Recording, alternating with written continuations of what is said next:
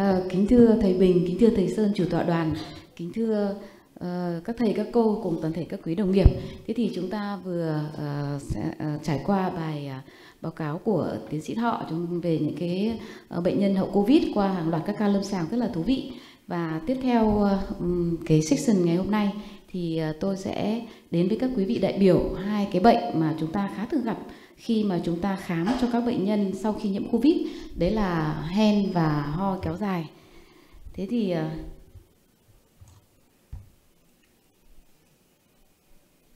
ờ, phần trình bày của tôi sẽ gồm có hai phần chính ờ, như là tên của cái bài báo cáo ngày hôm nay, đấy là hen cũng như là về phần thứ hai chính là phần ho kéo dài Thế thì như chúng ta đã biết thì ờ, dịch Covid-19 này thì đã xuất hiện đến giờ thời điểm này đã ờ, qua 2 năm và chúng ta đã ờ, trải qua những cái tất cả những cái cung bậc của cái đợt dịch đúng không ạ? Từ khi bắt đầu hồ nghi sau đấy rồi đến đợt dịch bùng phát rồi xảy ra rất nhiều những cái uh, những cái hậu quả rất là thương tâm và uh, dần dần thì dịch thì đang dần đi qua. Tuy nhiên chúng ta thấy là hiện tại uh, trong cộng đồng của chúng ta vẫn gặp tiếp tục gặp Ờ, Covid-19 ờ, và tính đến thời điểm hiện nay thì trên toàn thế giới có khoảng hơn 3 630 triệu người mắc Covid và hơn 6,6 triệu người tử vong. Và À, chúng ta thấy là gì? Là trong bệnh Covid này thì nó liên quan đến đường hô hấp rất là nhiều. Và người ta thấy là uh, Covid-19 thì nó gây ra cái viêm phổi từ 20 đến 25% các trường hợp uh, cũng như là cái tỷ lệ tử vong thì nó rất là dao động tùy từng quốc gia và tùy từng giai đoạn của bệnh và người ta thấy là những cái trường hợp những cái bệnh nhân mà có những cái bệnh lý nền thì là uh, thường bị covid nặng hơn. Ví dụ như là trong về lĩnh vực hô hấp chúng tôi thì chúng tôi thấy là những bệnh nhân mà bị hen rồi bệnh nhân bị CPD hoặc là bệnh giãn phế quản hoặc là ung thư phổi thì khi bị mắc covid thì là cái, cái tiên lượng của người ta xấu hơn rất là nhiều. Và tại sao uh, cái ờ, covid này nó lại liên quan đến nhiều đến hô hấp như vậy? Vì chúng ta đều đã biết đấy là uh, nó liên quan đến cái thụ thể ức men chuyển ACE2 và những cái thụ thể này thì nó có rất nhiều ở đường hô hấp đường hô hấp trên đường hô hấp dưới.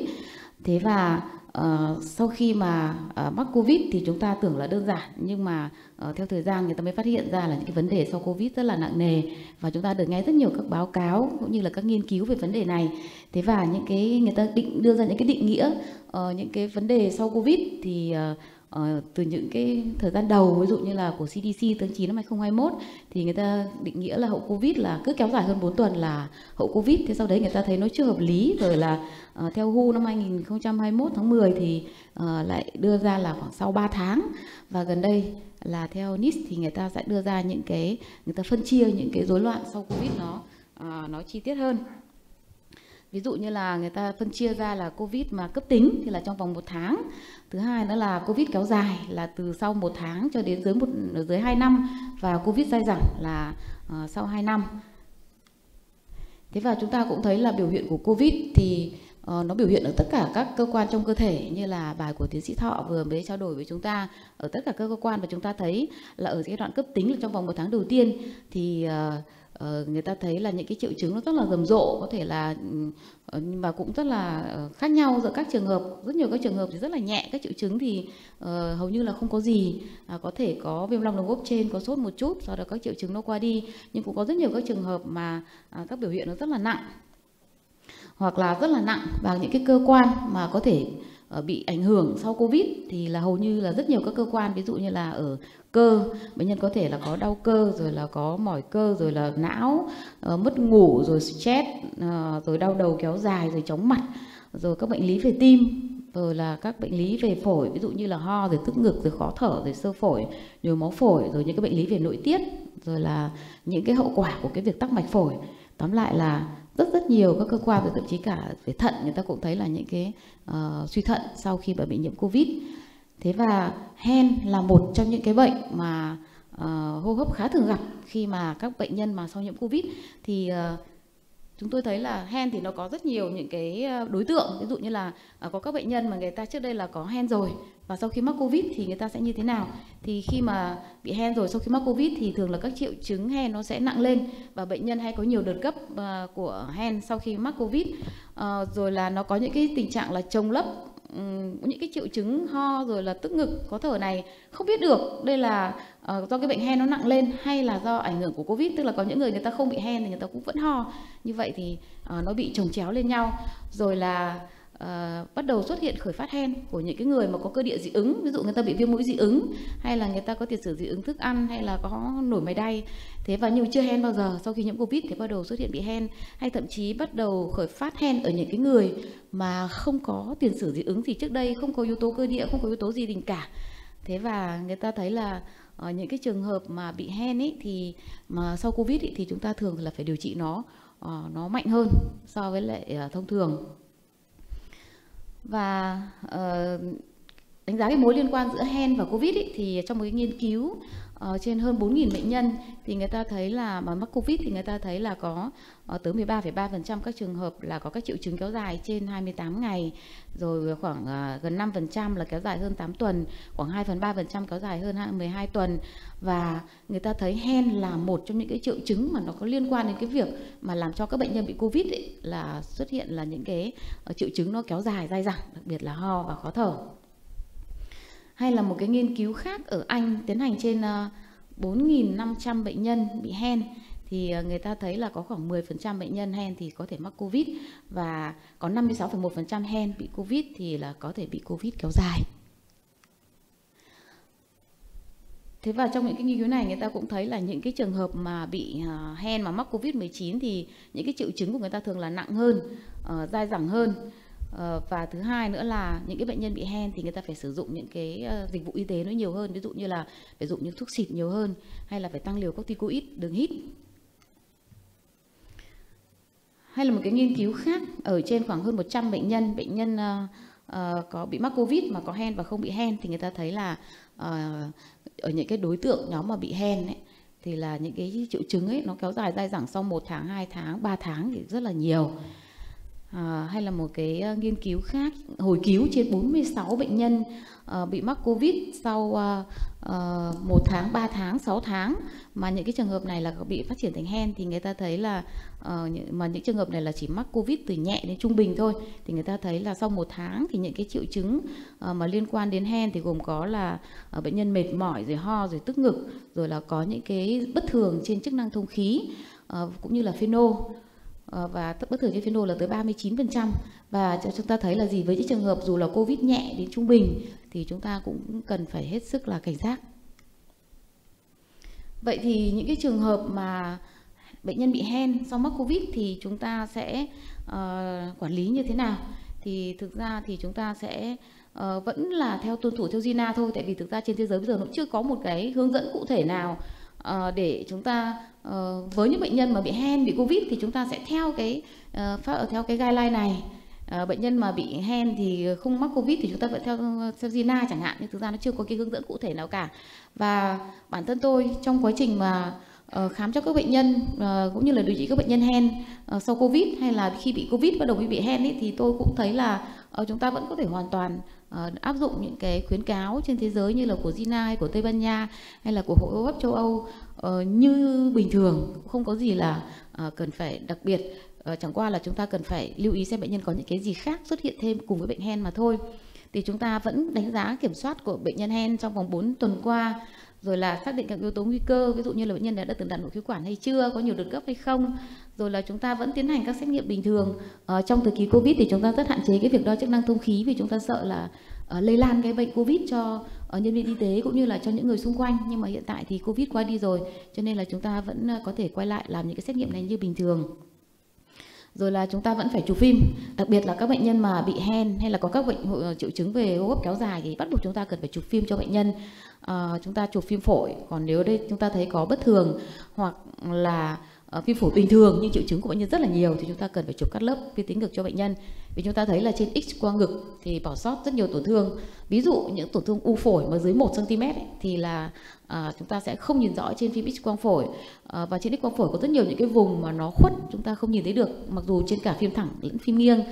À, cũng như là những tổn thương mà bệnh nhân những tình hình kính mờ hoặc là những cái tổn thương kẽ ít ý, thì chúng ta sẽ không thể phát hiện được trên phim x quang phổi thường. Cho nên là uh, có những trường hợp mà chúng ta x quang phổi thường có vấn đề thì chắc chắn là chúng ta phải chụp cắt lớp cho bệnh nhân rồi. Nhưng có những trường hợp mà x quang phổi bình thường nhưng mà các triệu chứng của bệnh nhân bất thường nhiều khó thở nhiều tức ngực thậm chí ho ra máu thì bắt buộc chúng ta cần phải chụp cắt lớp vi tính ngực cho bệnh nhân.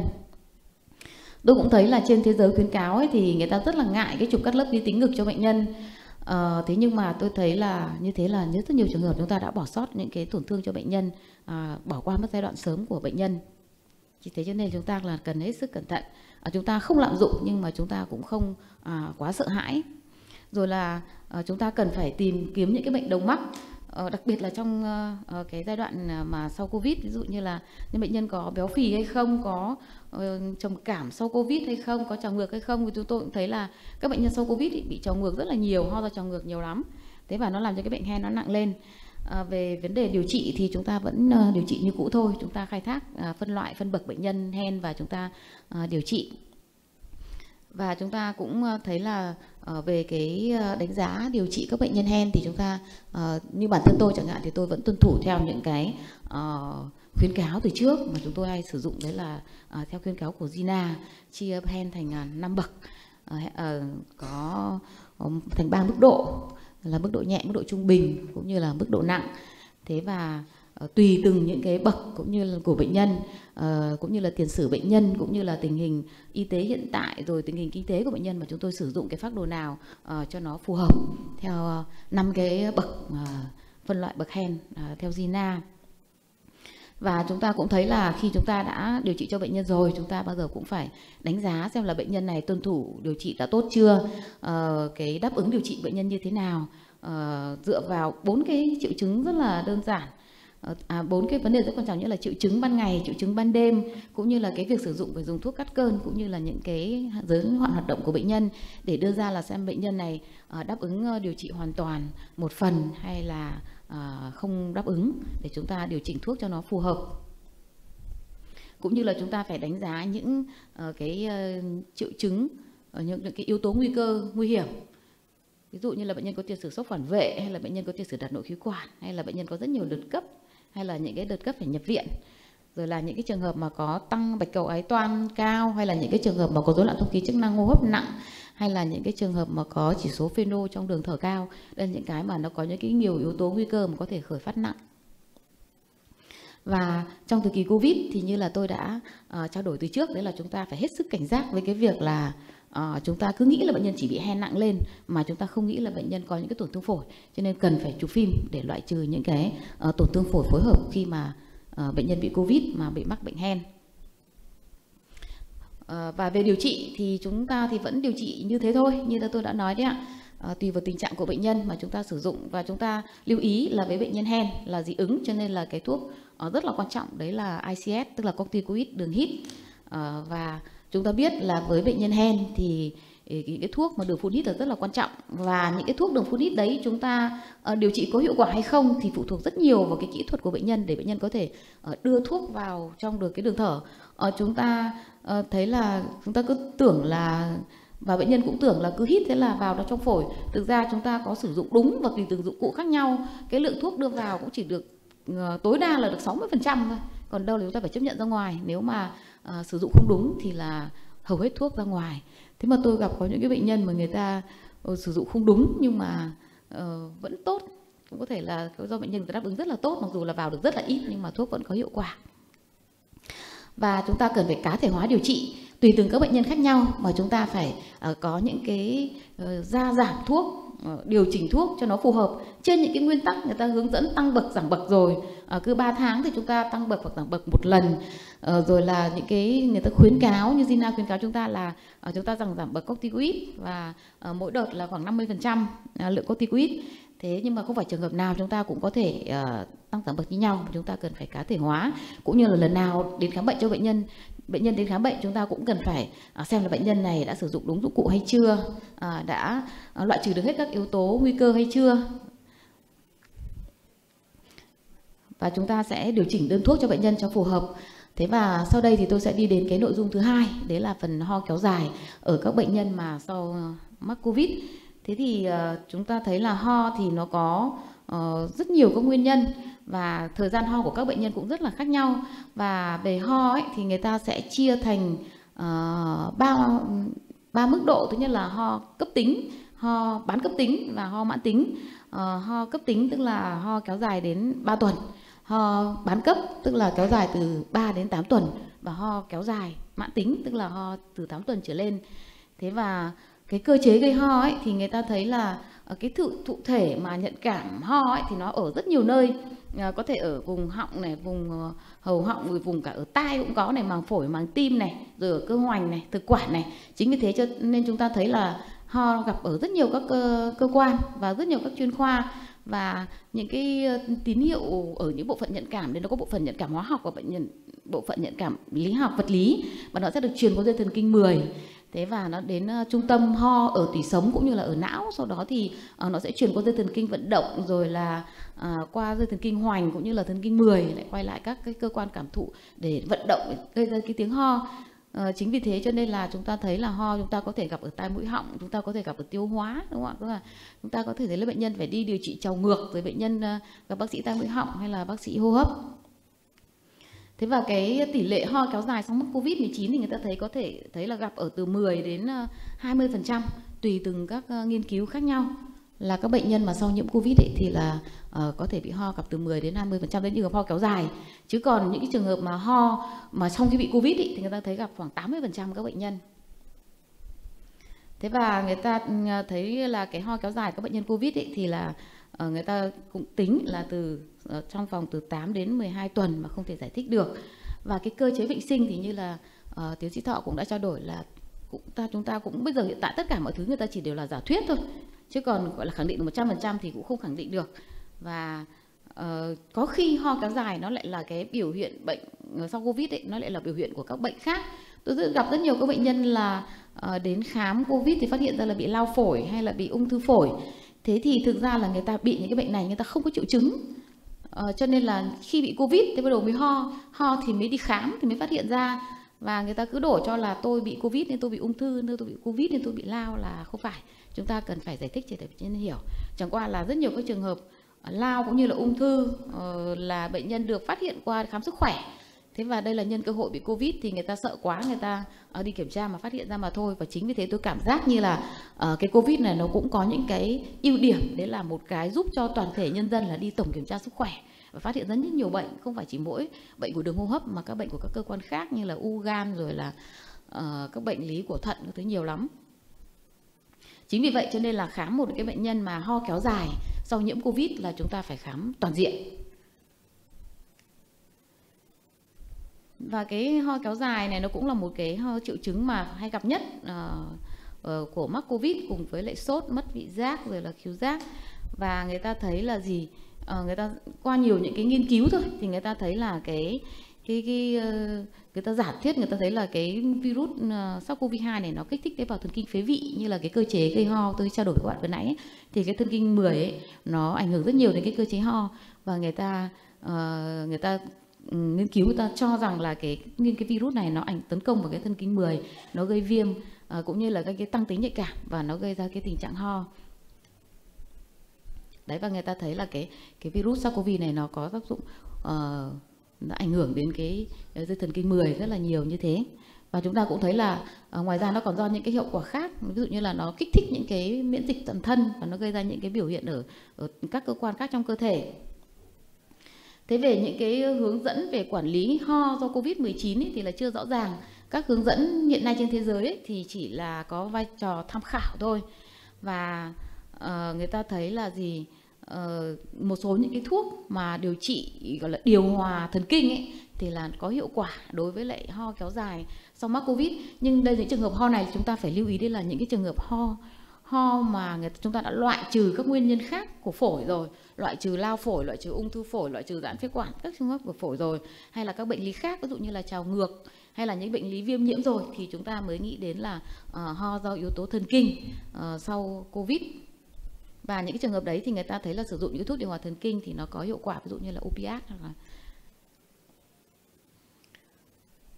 và một cái nguyên nhân khác nữa mà cũng gây ho sau covid đấy chính là hen thể ho. Ờ, trước đây thì chúng ta thấy là uh,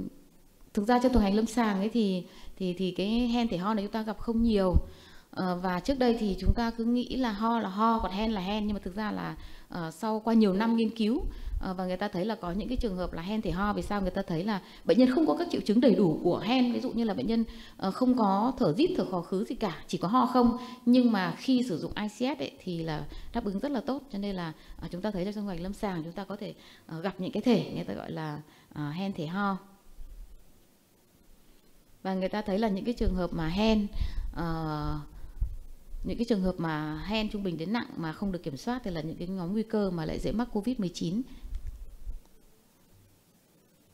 và những cái trường hợp mà hen thể ho như thế này thì là à, nó cũng có những cái dấu hiệu mà nó lại hơi giống hen để chúng ta uh, để chúng ta ta hướng tới được. Ví dụ như là bệnh nhân hay ho về ban đêm đấy uh, những hay ho tăng lên khi thay đổi thời tiết tức là bình thường vẫn ho nhưng mà khi thay đổi thời tiết thì bệnh nhân ho nhiều hơn hay là bệnh nhân ho tăng lên khi gặp những phải những cái mùi mà hắc hoặc là những cái mùi khó chịu. Uh, hoặc là những cái trường hợp mà chúng ta thấy là uh, hay ăn một số những cái thức ăn ấy mà người ta thấy là, à, là ho tăng lên ở những cái trường hợp này thì người ta thấy là chức năng thông khí của nhân thường là bình thường. Thế và đáp ứng tốt với lại sử dụng uh, chúng ta sử dụng ICS tuy nhiên là những cái trường hợp mà hen nói chung rất nhiều trường hợp hen không chỉ trường hợp ho thể hen này chúng ta cần phải loại trừ tất cả các bệnh khác rồi chúng ta mới nghĩ đến hen. Uh, rất nhiều các bệnh nhân cứ hỏi khi đi khám bệnh thì cứ hỏi tôi là ơ thế thì uh, phổi của em bình thường ở bác sĩ? Chức năng hô hấp của em bình thường bác sĩ. Thế thì, thì thế là em không bị bệnh gì à? Tại vì người ta chả thấy cái gì bất thường cả mà mình lại chẩn đoán họ bị bệnh, đúng không ạ? Bị bệnh hen phế quản và bên cạnh cái những cái nguyên nhân gây ho ngoài những cái gây ho mà chúng ta không giải thích được các nguyên nhân à, nào khác mà chúng ta nghĩ đến là ho hậu covid đấy là ho kéo dài đấy là do uh, yếu tố thần kinh uh, hay là những cái trường hợp hen thì ho thì uh, chúng ta cần phải để ý đến những cái trường hợp khác đó những tổn, tổn thương phổi sau covid. Và chúng ta vừa được uh, nghe tiến sĩ thọ trình bày uh, về cái uh, những cái tổn thương phổi do nhiễm covid rất là hay. Thế và chúng ta lưu ý là những cái trường hợp mà ho sau covid mà bệnh nhân có khó thở có đau ngực đấy thì là chúng ta phải hết sức lưu ý ờ, phải tìm kỹ những cái tổn thương ở trên phim cho bệnh nhân ờ, để xem là những bệnh nhân này ờ, có những cái tổn thương phổi hay không. Thế và về cái cơ chế mà tổn thương uh, phổi ở trên bệnh nhân covid thì chúng ta cũng đã vừa được uh, nghe tiến sĩ thọ đã trao đổi rồi. Thế và chúng ta thấy là gì tổn thương phổi ở trên bệnh nhân covid thì rất là khác nhau. Có rất nhiều trường hợp thì là không có gì à, có nhiều trường hợp thì rất là nặng và có có trường hợp có nhưng mà không nặng. Và uh, tôi cũng thấy là gì trên thời lâm sàng chúng tôi thấy là uh, những cái trường hợp có tổn thương phổi ở trên uh, bệnh nhân covid ấy, uh, thậm chí là có những tổn thương phổi kẽ. Và với bệnh nhân covid thì là đáp ứng rất là tốt với lại điều trị corticoid và nó không để lại di chứng nặng nề giống như là những cái bệnh nhân phổi kẽ thông thường. Đây là như một trường hợp chúng ta thấy là uh, từ lúc bị covid cho đến khi mà sau 7 tháng thì bệnh nhân gần như hồi phục hoàn toàn và người ta thấy là chúng ta uh, khi mà chúng ta thấy là những cái bệnh nhân mà tổn thương phổi mà ở bệnh nhân covid thì chúng ta sợ nhất đấy là những cái trường hợp sơ phổi. Và trong cái ờ, hội nghị ngày hôm nay chúng ta thấy là có tới hai section về bệnh phổi kẽ đấy hay là bệnh sơ phổi. Thế thì chúng ta thấy là chúng ta phải cần phải lưu ý những cái vấn đề này. Chúng ta phải xem đây là bệnh nhân này có từ trước khi bị covid hay là Ờ, nhân dịp covid phát hiện ra hay là bệnh nhân này thực sự là do phổi do covid và chúng ta thấy là những cái hình ảnh nó khác nhau giữa các bệnh nhân mà bị sơ phổi do covid cũng như là do các bệnh phổi cái khác? Và những cái tỷ lệ bệnh nhân có uh, bệnh nhân sơ hóa phổi nó dựa vào một nó sẽ có một số những yếu tố nguy cơ như là tuổi cao rồi nam giới rồi là bệnh covid bị nặng và có bất thường trên trục uh, um, uh, cắt lớp ngực độ phân giải cao. Để cái cái cái, cái, cái lưu đồ để chúng ta chẩn đoán và điều trị ho kéo dài ấy, thì quan trọng là chúng ta phải khám kỹ cho bệnh nhân khai thác kỹ thời gian ho bao nhiêu lâu yếu tố kích phát lên cơn ho là gì yếu tố gia đình có hen hay không có bệnh phổi kẽ hay không có tiền sử ung thư hay không rồi là à, nó ảnh hưởng đến chất lượng cuộc sống bệnh nhân như thế nào tức là ho không nhiều lắm hay là ho không thể nào làm việc được rồi là đánh giá những cái triệu chứng khác ví dụ như là có bệnh điều trị những cái bệnh uh, tăng huyết áp các thứ hay không rồi có bị trào ngược hay không rồi uh, có điều trị uh, Ờ, những cái bệnh ờ, lý gì trước đây. Rồi là sau đó thì chúng ta sẽ chụp phim rồi là làm các xét nghiệm để xem bệnh nhân loại trừ các bệnh nhân có ho hay không hay có tổn thương phổi hay không. Thế và uh, chúng ta sẽ đánh giá cái uh, điều trị của bệnh nhân. Uh, nếu mà chúng ta loại trừ hết được các tổn thương khác và chúng ta uh, thấy là bệnh nhân này không phải bị hen uh, mà chỉ là không có tổn thương phổi chỉ là những cái ho kéo dài sau nhiễm covid ý, là chúng ta có thể sử dụng uh, những cái thuốc một là thuốc chống dị ứng hai là những cái thuốc mà điều hòa thần kinh ấy, như là opiat à, hay là các ba perin ấy thì nó cũng có thể à, giúp hiệu quả điều trị hiệu quả cho bệnh nhân. Còn nếu như bệnh nhân đã có những tổn thương phổi là chúng ta phải à, đi sâu để chẩn đoán nguyên nhân bệnh nhân phổi là gì để điều trị cho bệnh nhân à, tránh bỏ sót à, để ra chuyển sang giai đoạn muộn. Thế và để kết thúc cho bài trình bày ngày hôm nay tôi có một số những cái kết luận như sau. Thứ nhất là chúng ta cũng thấy là gì? À, bệnh nhân nặng nhất là giai đoạn cấp tính thôi. Bệnh nhân covid thì nặng nhất giai đoạn cấp tính thôi. Thế còn hầu hết các bệnh nhân covid thì là sẽ hồi phục hoàn toàn. À, có khoảng 10 đến 20 phần trăm các bệnh nhân sẽ trải qua những cái uh, có những cái biểu hiện uh, sau nhiễm covid hội chứng covid kéo dài hay là hậu covid. Và với những cái bệnh nhân mà bị hen phế quản thì là à, khi bị covid thì nó có thể nặng lên. Hoặc là có những trường hợp lại xuất hiện cô bị hen sau khi nhiễm covid. Thế còn trong à, hiện tại thì chúng tôi vẫn sử dụng những cái phác đồ hiện tại để điều trị bệnh nhân uh, bị hen uh, theo những cái bậc tương ứng. Ờ, rồi là uh, quan trọng là gì? Là khi chúng ta khám các bệnh nhân bị uh, covid thì chúng ta có cần phải hết sức lưu ý là uh, phát hiện những cái tổn thương để xem đấy là tổn thương do covid hay không phải covid để có cái thái độ điều trị cũng như chẩn đoán phù hợp cho bệnh nhân. Phần trình bày của tôi đến đây là hết. Xin cảm ơn sự lắng nghe của chủ tọa đoàn cũng như các quý vị đại biểu.